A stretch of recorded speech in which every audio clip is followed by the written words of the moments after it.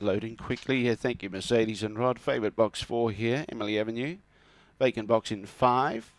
Green light goes on. There's no more bets, thank you. Final event on the program. Kingsford Hotel mixed stake.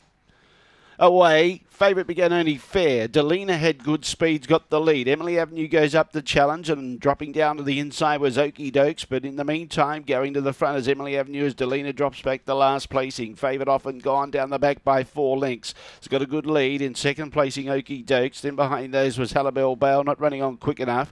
Then we got Lucy's Girl Boss number four. Here comes Henry and out the back was Delina after a good beginning. Still in front by three lengths of favourite Emily Avenue. Holding on, they're getting closer, but Emily Avenue wins. Second, Okie Dokes. Third, boss number four, I think just in front of Halibel Bale.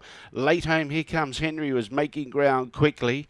Uh, then in turn, uh, Lucy's Girl pulling up quickly and Delina at the tail end of the field. The time is 31.24. 4, 6, 1 and 2. 4, 6, 1, 2, the judges' numbers. 4, 6, 1 and 2. 31.24 the time.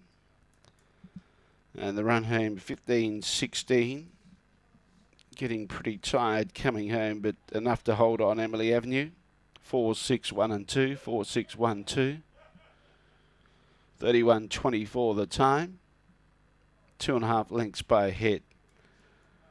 Two and a half lengths by a head. The margins 4 6 1 and 2. Closed at around the uh, $2.40 mark on the. Uh, fixed odds. 324, then 1608, the early splits. 324 and 1608. 3124 the time. Crunched in late on the tote. $1.90 on the tote and $1.70 for the place. Okie Dokes at 420. Boss number 4, no third dividend. Quinella, 3310. The... Uh